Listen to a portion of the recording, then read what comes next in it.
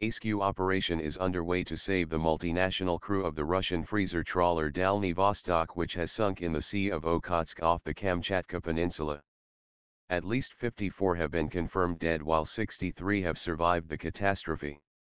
A total of 117 people were lifted from the water, 63 of them are alive, a representative of the Kamchatka division of the Russian Emergencies Ministry told RIA. The survivors who were seriously injured in the shipwreck or who suffered from hypothermia in the freezing waters will be delivered to the clinics of Magadan by helicopter, TASS reports.